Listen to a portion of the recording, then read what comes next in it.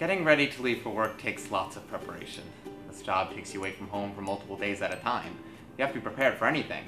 You could spend one night in Paris and the next night in Kentucky. I mean, what is there to do in Kentucky? Big booty basic bitches with big bags my flight to Barbados.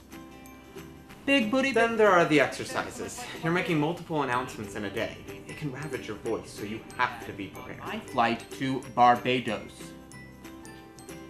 Big booty basic bitches with big bags my flight to Barbados. First impressions are everything in this job. You have to look the part and set the tone with the passengers with a greeting. Welcome. Welcome aboard. Hi. I'm Charlie, and I'm a flight attendant for Royal Skies Airlines.